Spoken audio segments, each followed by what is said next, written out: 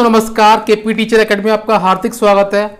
आज हम EVS pedagogy का 30 क्वेश्चन का एक ज़बरदस्त सेशन लगाएँगे, जो कि सीटेट परीक्षा की दृष्टि से बहुत ही महत्वपूर्ण होगा। वीडियो को लाइक एंड शेयर करें अपने दोस्तों के साथ में, जिससे जो भी स्टूडेंट सीटेड परीक्षा की तैयारी कर रहे हैं, उनके लिए वीडियो बहुत ही हेल्पफुल साबित होगा। चैनल को सब्सक्राइब कर लें बेलाइकन को प्रेस कर लें, जिससे आपको आगामी वीडियो मिलती रहे। तो आज का क्वेश्चन स्टार्ट करते हैं। पर्यावरण अध्ययन की कक्षा में संकल्पना को स्पष्ट करने के लिए कविताओं और कहानी कथन का उपयोग या प्रयोग करना, सहायता करना है। फ़र्स्ट ऑप्शन है, पाठ को आनंदीय और रोचक बनाने में। सेकंड स्थानीय व वैश्विक स्तर पर संसार की प्रकृति को खोजने और संकल्पना या कल्पना को करने की योग्यता को बढ़ाने में। थर्ड है, विद्यार्थियों में नियत भाषा एवं सांस्कृतिक विविधताओं का ध्यान रखने में। फोर्थ है, सही दिशा में विद्यार्थियों की ऊर्जा का सरलीकरण करने में। तो क्वेश्चन में बोला जा रहा है कि पर्यावरण अध्ययन कक्षाओं में संकल्पना को स्पष्ट करने के लिए कहानी और कविता को क्या कथन है, क्या उपयोग है? तो जैसे कि हम बात करें कहानी और कविताओं से बच्चों में क्या चिंतन प्रक्रिया, कल्पना शक्ति का बढ़ावा, योग्यता मिलती है।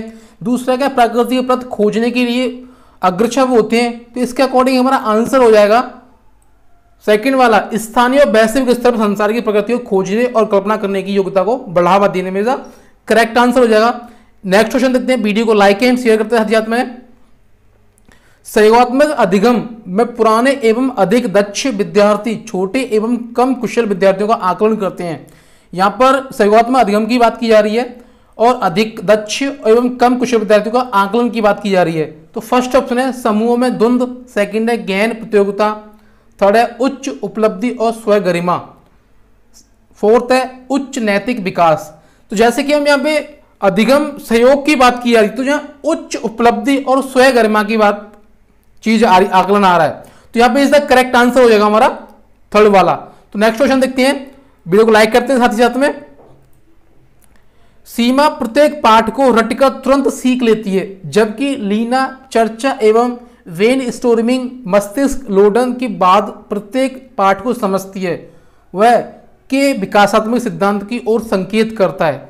तो जो सीमाएँ क्या करती है, पाठ को रट लेती है, और लेकिन जो लीना है तो वो चर्चा करती है उस पाठ पर, और मस्तिष्क अलोडन की बात की होती है, और उस पाठ को क्या समझती है।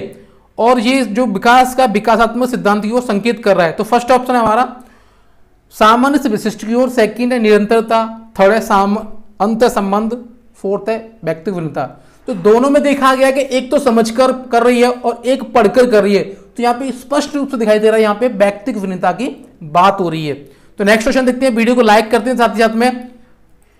निम्न में से रोगों का वह समूह चुनिए जो मच्छरों से फैलता है। क्वेश्चन बोल रहा है कि कौन सा समूह है जो मच्छरों के द्वारा फैलता है? तो फ़र्स्ट ऑप्शन है, डेंगू, मलेरिया, चिकनगुनिया। सेकंड है, मलेरिया, हैजा, म्यादी, बुखार। थर्ड है, मलेरिया, डेंगू, हैजा। फोर्थ है मलेरिया, चिकनगुनिया, म्यादी बुखार। तो मच्छरों के जो समूह से जो रोग होती है, मच्छरों से जो रोग होता है, वो मलेरिया, डेंगू, चिकनगुनिया। तो इसका करेक्ट आंसर होगा हमारा फ़र्स्ट वाला। नेक्स्ट क्वेश्चन देखते हैं। वीडियो को लाइक करते हैं साथ ही साथ में। चैनल को सब्सक्राइब कर रहे हैं प्रेस करें, जिससे आपको वीडियो मिलती रहे। सांप के संदर्भ में सही कथन चॉइस कीजिए या चुनिए। फ़र्स्ट है ए हमारे देश में चार प्रकार के सांप पाए जाते हैं या जहरीले सांप पाए जाते हैं। बी है नागा कोबरा जहरीले सांपों का एक समूह है। सी है जहरीले सांप के चार खोखले दांत होते हैं। जब सांप किसी व्यक्ति को काटता है तो जहर इन खोखले दांतों से उसके शरीर में चला जाता है। डी है सांप के काटने की दवाई सांप के जहर से बनाई जाती है। तो यहाँ पे सांपों के कथन चॉइस करने संदर्भ में, जैसे कि हमारे देश में केवल चार प्रकार के सांप पाए जाते हैं। तो ए फॉलो कर रहा है कोबरा के जहरीली प्रजाति होती है, ये भी हमारा फॉलो कर रहा है। यहाँ पे बात कर रहा है, सांप के चार खोखले दांत होते हैं। यहाँ पर चार नहीं, दो खोखले दांत होते हैं, जो कोई व्यक्ति को काटने में और उसका शरीर जहर क्या है शरीर में चला जाता है। तो दो होते हैं यहाँ पे, चार नहीं तो सी यहाँ का फॉलो नहीं कर रहा। डी क्या है? सांप के काटने की दवाई जो कि सांप के जहर से बनाई जाती है। तो ये भी फॉलो कर रहा है। तो यहाँ पे हमारा आंसर निकलता है ए बी और डी तो ए वी डी हमें कहाँ दिखाई दे रहा है? थर्ड में। तो इसका करेक्ट आंसर हो जाएगा हमारा थर्ड वाला। तो नेक्स्ट क्वेश्चन देखते हैं। वीडियो को लाइक एंड शेयर करते साथ ही साथ में। निम्नलिखित में से पेट्रोलियम से सही अविलक्षण चुनिए। तो पेट्रोलियम के अविलक्षण की चॉइस करने की बात हो रही है यहाँ पे क्वेश्चन में। तो फ़र्स्ट ऑप्शन है, अच्छी गंध का पतला, नीला, रंगीन द्रव। सेकंड है, बिना गंध का गाढ़ा तथा गहरे रंग का तरल। थर्ड है, बदबूदार, गाढ़ा, गहरे रंग का तेल। फोर्थ है, बदबूदार, पीला पतला पीला द्रव। तो बहुत सारे स्टूडेंट क्या है फोर्थ वाला लगाएँगे। मगर ये आंसर हमारा इनकरेक्ट हो जाएगा रॉन्ग आंसर हो जाएगा। क्योंकि यहाँ पर हम पेट्रोलियम की सही चुनने की बात हो रही है। क्योंकि यहाँ पे जो पीला बदबूदार हमारे पास में आता है, ये प्यूरिफाइड करके रिफाइनरी के माध्यम से आता है, जो कि पेट्रोल पंप पे मिलता है बाइक में कार में डालने के लिए। तो ये हमारा नहीं है, हमें जो मिलता है, वो होता है हमारा अच्छी गंध का पतला, नीला और रंगीन, जो कि हमारा फ़र्स्ट में दिया गया है। तो इसका करेक्ट आंसर हो जाएगा हमारा फ़र्स्ट वाला। तो नेक्स्ट क्वेश्चन देखते हैं वीडियो को लाइक करते हैं हाथ में। मधुबनी चित्रों को बनाने के लिए चित्रकारों द्वारा उपयोग किए जाने वाले रंग। तो मधुबनी चित्रों की बात की जा रही है और चित्रकारों द्वारा कौन से रंग प्रयोग किए जा रहे हैं? तो मधुबनी क्या है? एक जिला है जो कि बिहार में पड़ता है, आपको पता चल गया होगा। तो जैसे कि फ़र्स्ट ऑप्शन देखते हैं।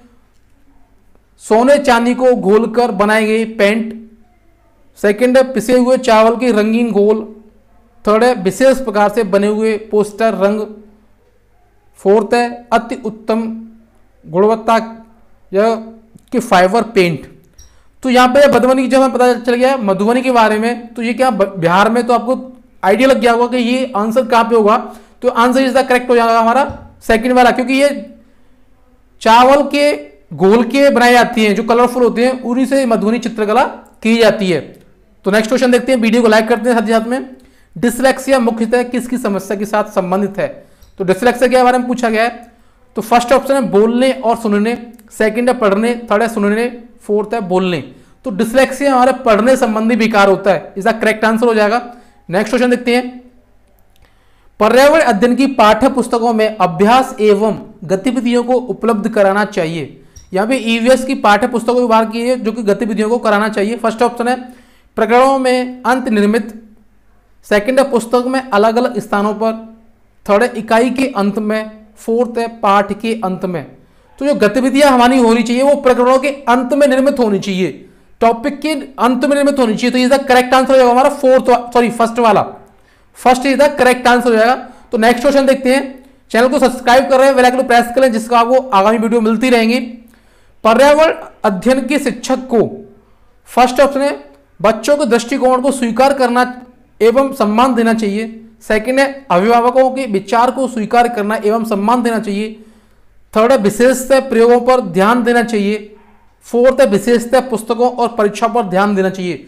तो यहाँ पे फोर्थ वाले में परीक्षाओं की बात कर रहा है तो ये हमारा आंसर नहीं होगा इसमें से क्यों फोर्थ हम उठा देते हैं। तो हमारे पास बचती हैं तीन ऑप्शन तो जैसे हम बात करें कि पर्यावरण अध्ययनों टीचरों को, यहाँ पर नवीन प्रयोग के लिए बात करनी चाहिए। नवीन खोजों पर ध्यान देना चाहिए। तो इसका हमारा आंसर हो जाएगा थर्ड वाला। विशेषतः प्रयोगों पर ध्यान देने की आवश्यकता होगी, होनी चाहिए। या देनी चाहिए इसका करेक्ट आंसर हो जाएगा। थर्ड वाला। नेक्स्ट क्वेश्चन देखते हैं, वीडियो को लाइक करते हैं साथ साथ में। प्राथमिक स्तर पर बच्चे को आंकलन करने का सर्वश्रेष्ठ तरीका है। यहाँ प्राथमिक लेवल पर बच्चे को आंकलन करने का कौन सा उचित तरीका पूछा गया है? तो फ़र्स्ट ऑप्शन है गृह गृह कार्य। सेकंड है योगात्मक कार्य।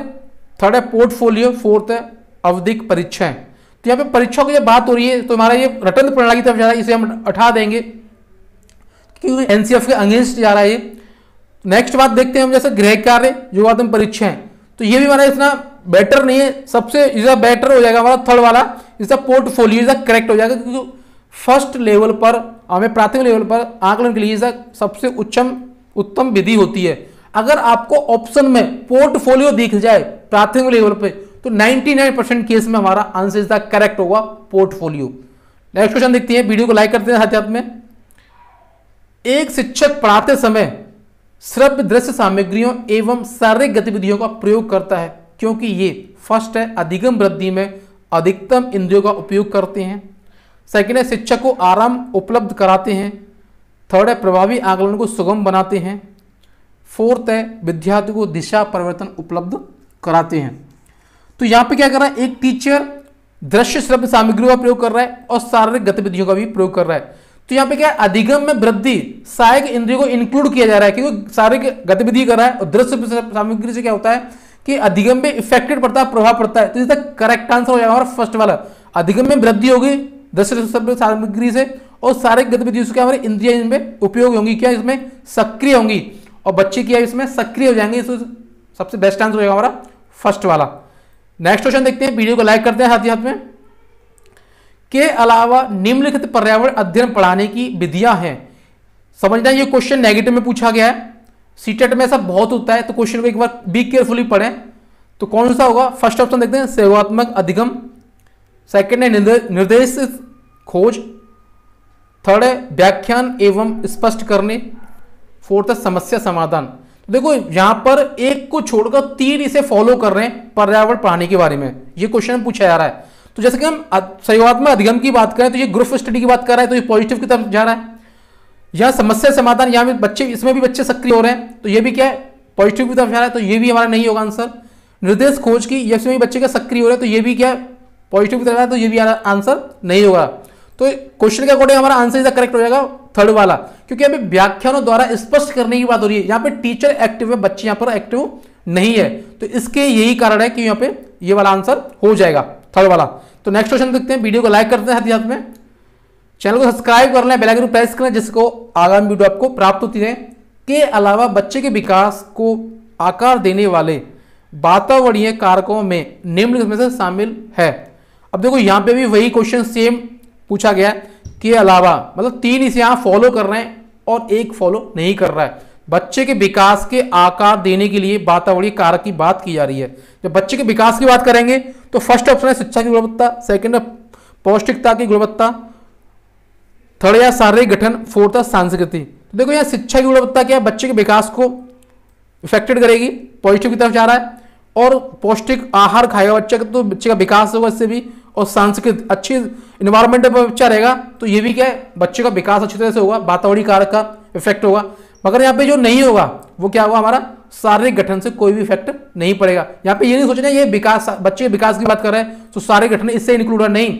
यहाँ पे शारीरिक गठन ऑप्शन में दिया गया है, इसकी वजह से नहीं होगा। दूसरे के यहाँ पे, कि हमें अगर शारीरिक गठन विकसित होगा तो वो किसके अकॉर्डिंग होगा? पौष्टिक गुणवत्ता की वजह से होगा, संस्कृत अच्छा इन्वायरमेंट देने की वजह से होगा, अच्छी शिक्षा देने की वजह से होगा, न कि शारीरिक गठन देने की वजह से बच्चे का विकास हो जाएगा, ऐसा नहीं है। तो हमारा नेक्स्ट क्वेश्चन के अकॉर्डिंग आंसर हो जाएगा थर्ड वाला। तो नेक्स्ट क्वेश्चन देखते हैं वीडियो को लाइक करते हैं हाथ हाथ में। कक्षा में एक प्रभावी शिक्षण अधिगम प्रक्रिया होती है, जब बच्चे, जब शिक्षक बच्चों के ज्ञान को पढ़ाई जाने वाली नई संकल्पनाओं के साथ जोड़ने में सहायता करता है, इसके पार्श्व में निहित उद्देश्य है को बढ़ावा देना। तो फ़र्स्ट ऑप्शन है विद्यार्थी स्वतंत्रता। सेकंड है पुनर्वलन थर्ड है ज्ञान का सह संबंध एवं स्थानांतरण। फोर्थ है व्यक्तिक भिन्नता। तो यहाँ पे बात की जा रही है, जब एक कक्षा में प्रभावी शिक्षा अधिगम प्रक्रिया होती है, जब शिक्षक, क्या कहते हैं, जब शिक्षक बच्चे के ज्ञान को पढ़ाई जाने वाली नई संकल्पनाओं के साथ जोड़ने की बात की जा रही है जब क्या नई संकल्पना को जोड़ने की बात की जा रही है तो यहाँ पर क्या हुआ? उसका निहित उद्देश्य है। वो नए ज्ञान का सह संबंध स्थानांतरण करना चाहता है। वो ज्ञान का क्या है? ज्ञान का सह संबंध बनाकर स्थानांतरण करना चाहता है। जिसका करेक्ट आंसर हो जाएगा हमारा थर्ड वाला। तो नेक्स्ट क्वेश्चन देखते हैं वीडियो को लाइक करते हैं साथ साथ में।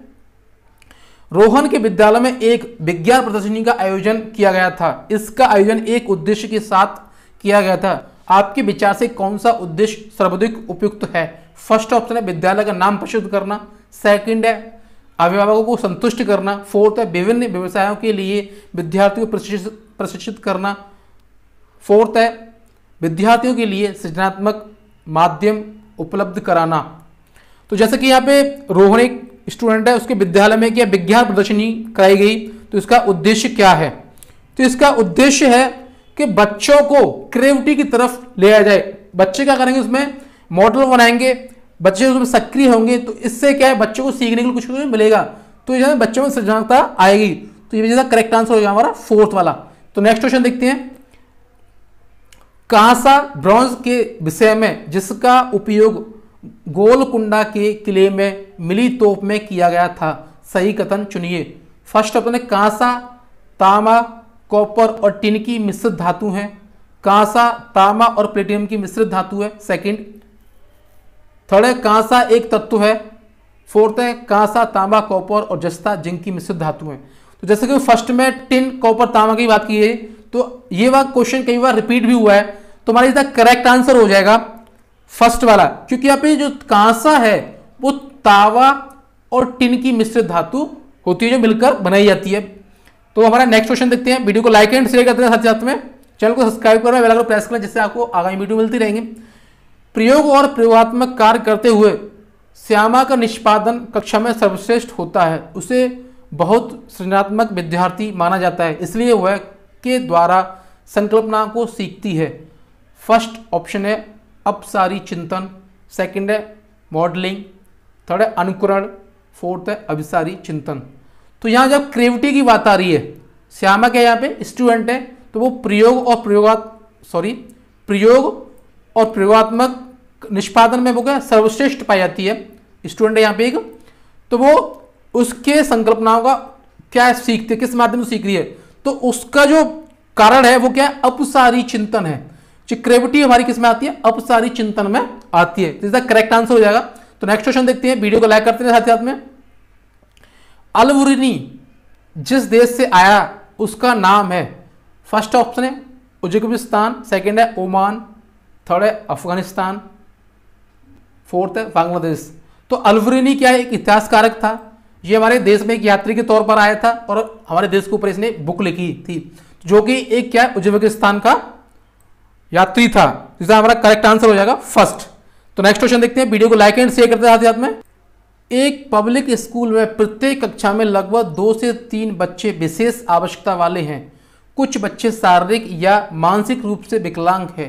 या बाधित हैं, ये बच्चे अन्य बच्चों के साथ उसी कक्षा में एक साथ पढ़ते हैं। उपरोक्त पब्लिक स्कूल निम्न में से किसका अनुपालन करता है? तो ये एक पब्लिक स्कूल के बारे में बताया गया है। तो जैसे कि उसमें प्रत्येक कक्षा में लगभग दो से तीन बच्चे क्या है, विशेष आवश्यकता वाले बच्चे हैं और कुछ बच्चे क्या शारीरिक समस्या से या मानसिक विकलांगता या बाधित बच्चे हैं। ये बच्चे या ये बच्चे अन्य बच्चों की अपेक्षा एक कक्षा में एक साथ पढ़ते हैं। जो सामान्य बच्चे हैं और जो शारीरिक समस्या वाले बच्चे हैं, वो भी एक साथ क्लास में बैठकर पढ़ रहे हैं। तो यह स्कूल क्या है? किस चीज़ को अनुपालन कर रहा है? ये क्वेश्चन पूछा गया। तो फ़र्स्ट है समवयस्क शिक्षा सेकंड है प्रतिपूरक अधिगम सेकंड है सतत एवं व्यापक आकलन फोर्थ है समावेशी कक्षा। अगर हम इस प्रकार की बात करते हैं तो जैसे कि हम शारीरिक समावेश शिक्षा का मतलब होता है कि जैसे कि उसमें सभी प्रकार के बच्चे पढ़े साथ में बैठकर, चाहे वो शारीरिक विकलांग बच्चे हों या मानसिक विकलांग बच्चे हों, मगर प्रत्येक बच्चे की अकॉर्डिंग शिक्षा विधियों का प्रयोग किया जाए और प्रत्येक बच्चे को समान अवसर दिए जाए समझने के लिए, पढ़ने के लिए और सीखने के लिए। तो इस हमारा करेक्ट आंसर होगा, समावेशी कक्षा का अनुपालन किया जा रहा है यहाँ पर। इसका करेक्ट आंसर फोर्थ वाला। तो नेक्स्ट क्वेश्चन देखते हैं वीडियो को लाइक एंड शेयर करते हैं साथ साथ में। घर्षण के विषय में चर्चा करते हुए एक शिक्षिका ने इस संकल्पना की व्याख्या करते हुए बहुत से उदाहरण दिए। इनमें से कुछ ऐसे उदाहरण हैं जिनमें घर्षण हमारे दैनिक जीवन में उपयोगी उस शिक्षिका ने कक्षा में दिए गए, नीचे दिए गए हैं। तो कुछ क्या है, कक्षा ने टीचर ने घर्षण के बारे में बताया गया बच्चों को तो ये कहा कि हमारे दैनिक जीवन उपयोग में किस प्रकार से हैं, ये एक्सप्लेन किया गया। थोड़ा सा दिखाई नहीं दे रहा है, एडजस्ट करेंगे। तो क्वेश्चन तो हमने पढ़ लिया आप घर्षण के उदाहरण देखते हैं। ए, हम पेन की नोक और कागज़ के बीच घर्षण होने के कारण ही लिख पाते हैं। बी ए हम फर्श पर हमारे पैरों और फर्श के बीच घर्षण के कारण चल पाते हैं। सी ए ऊर्जाधर ऊपर फेंकी गई कोई गेंद घर्षण के कारण हमारे, घर्षण कारण ही हमारे पास वापस लौटती है। डीए घर्षण के कारण ही हम किसी गतिशील वाहन को ब्रेक लगाकर रोकते हैं। तो ये क्या कारण दे दिए दैनिक जीवन के? तो ऑप्शन देखते हैं। थोड़ा सा दिखाई दे देंगे थोड़ा एडजस्ट करेंगे ऑप्शन देखेंगे आप यहाँ पे। तो ए वी डी ऑप्शन इस प्रकार से दे दिए गए। तो नीचे देखते हैं, देखो, यहाँ पे हमारा क्या क्या फॉलो कर रहा है। जैसे कि घर्षण के कारण, हम लोग क्या करते हैं? घर्षण के कारण ही क्या है? देख पाते हैं। सॉरी थोड़ा मिशिंग हो गया। घर्षण के कारण क्या है? हम पेन से कागज़ की नोक उस पर लिख पाते हैं। पेन की नोक की कागज़ पर हम लिख पाते हैं। घर्षण का कारण है, ये फॉलो कर रहा है इसे। ठीक है, फर्श पर चलने का कारण भी क्या है? घर्षण का ही कारण है। अब बात कर रहे हैं यहाँ पे ऊर्धाधर क्या बात कर रहा है? ऊर्धाधर जैसे कि यहाँ पे बोला गया ऊर्धाधर गैस क्या फेंक रहे हैं हम, और वो वापस लौट रही है। तो वो भी क्या है? घर्षण का कारण है। जैसे कि ऊर्धाधर ऊपर फेंकी गई, कोई गेंद घर्षण के कारण हमारे पास यह वापस ही लौट आती है। तो ये क्वेश्चन ये बोला गया है सी में। तो जैसे कि देखिए डी में, अगर घर्षण के कारण ही हम किसी बत्स बाँध को ब्रेक लगाकर रोक पाते हैं तो यहाँ पर थोड़ा सा डाउट हो रहा है मुझे क्वेश्चन में, क्योंकि यहाँ पे ए फॉलो कर रहा है। और जैसे कि एक बार आप चेक कर लें ऐसे, क्योंकि हम जो भी चीज़ हम ऊपर फेंकते हैं, वो गुरुत्वाकर्षण के कारण वापस लौटती है। तो इसके कारण, इस वजह से तो घर्षण तो मुझे नहीं लग रहा है इसमें, मगर यहाँ पे जो फॉलो कर रहा है, वो हमारा ए बी और सी फॉलो कर रहा है। तो जैसे कि यहाँ पे देखा जाए तो ए तो फॉलो कर रहा है और बी भी फॉलो कर रहा है। तो ए और बी हमारा थर्ड में दे रहा है। तो द करेक्ट आंसर हमारा थर्ड ही होना चाहिए इस हिसाब से। मगर फिर भी एक बार आप लोग चेक करना ऐसे, क्योंकि यहाँ पर जो हम वस्तु जब ऊपर फेंकते हैं, वो गुरुत्वाकर्षण के कारण वापस लौटती है। घर्षण का नहीं समझ में आ रहा है इसमें, थोड़ा सा मुझे डाउट हो रहा है यहाँ पे। तो वैसे हम क्वेश्चन लगा देते हैं, यहाँ पे थर्ड है। क्योंकि दो ने यहाँ पे सी दे दिया है तो सी की वजह से यहाँ पे थर्ड थोड़ा सा डाउटफुल लग रहा है। बाकी कोई और बैठ भी नहीं रहा है यहाँ पे कोई भी, जो दे रहे हैं बाकी की। तो जैसे कि यहाँ पे करेक्ट आंसर मानेंगे यहाँ पे भी डी पर एक बार चेक कर लेने से, और एक बार कमेंट बॉक्स में ज़रूर बताना हमें कि ये आंसर इसका क्या हुआ था। तो नेक्स्ट क्वेश्चन देखते हैं। तो डाउटफुल क्वेश्चन था ये। वीडियो को लाइक एंड शेयर करते साथ में। एक पश्मीना साल लगभग साधारण स्वेटर को बराबर गर्म होती है और एक साधारण पश्मीना सॉल को बनाने में या हेतु घंटों का समय लगता है। पश्मीना सॉल होती है जो कि लद्दाख वगैरह में रही जाती है। और इस सॉल को बनाने में कितना समय लगता है, ये क्वेश्चन में पूछा जा रहा है। तो इसके अकॉर्डिंग बात की जाए तो लगभग 10 से 200 घंटों का टाइम लगता है पश्मीना सॉल को बनाने में। तो इसका करेक्ट आंसर हो जाएगा हमारा? थर्ड इसलिए इसे बता दिया गया है डायरेक्टली क्योंकि इसे तुम्हें याद रहेगा। वैसे देखा जाए तो इसका फ़र्स्ट ऑप्शन है छः से 200 सेकंड है 10 से 250 थर्ड तो बता ही दिया है 10 से 200 फोर्थ है 6 से ढाई सौ। तो इसका करेक्ट आंसर होगा हमारा। डायरेक्टली नहीं बताया क्योंकि ये हमें क्वेश्चन थोड़ा सा याद हो जाते हैं या रट जाते हैं, मान लो, जैसे हम ऑप्शन देखते हैं इस प्रकार के, इस प्रकार क्वेश्चन रिपीट देखते हैं तो तुरंत आंसर टिक कर देंगे। तो हमारा इसका करेक्ट आंसर होगा दस से दो सौ। तो नेक्स्ट क्वेश्चन देखते हैं वीडियो को लाइक एंड शेयर करते साथ अपने दोस्तों के साथ में चैनल को सब्सक्राइब कर लें।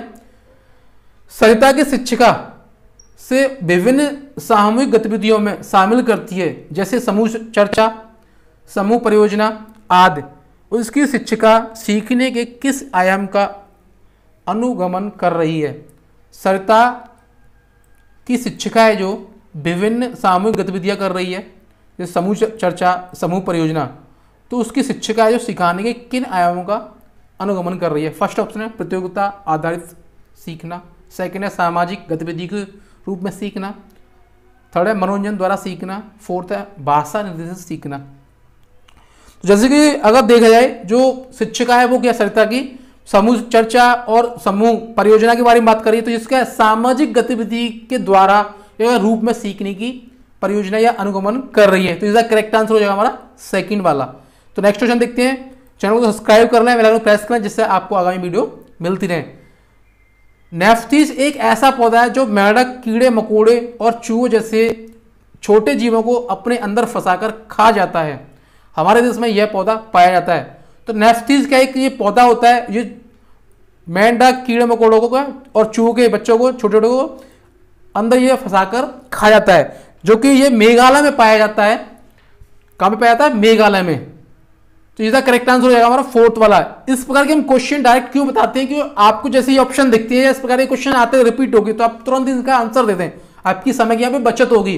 बाकी से ऑप्शन देखा जाए ओसम फ़र्स्ट है सेकंड में उड़ीसा और थर्ड है अरुणाचल प्रदेश में फोर्थ मेघालय। तो जैसे कि हमारा आंसर इसका करेक्ट हो जाएगा, मेघालय। भारत के मेघालय राज्य में ये पाया जाता है। इसका करेक्ट आंसर हो जाएगा। तो नेक्स्ट क्वेश्चन देखते हैं। उसे चुनिए जो अन्यों से भिन्न है। हमें उसे चॉइस करना है जो अन्य से अलग है। तो फ़र्स्ट है ग्रीस सेकंड है पेट्रोल थर्ड है कोयला फोर्थ है पैराफिन मोम। तो जैसे कि हमें क्या अलग को चॉइस करना है तो अगर हम बात करें यहाँ पे ग्रीस, कोयला और पैराफिन मोम तो ये हमें खनिज पदार्थों से मिलते हैं। पेट्रोल भी मिलता है, मगर पेट्रोल के इस समय पेट्रोलियम नहीं है इसमें तो पैराफिन से मिलता है हमें। सॉरी पेट्रोल क्या हमें प्यूरिफाइड होकर मिलता है प्यूरिफाइड कंडीशन में तो इसलिए हमारा इसका करेक्ट आंसर हो जाएगा। सेकंड तो नेक्स्ट क्वेश्चन देखते हैं, वीडियो को लाइक करते हैं साथ ही साथ में।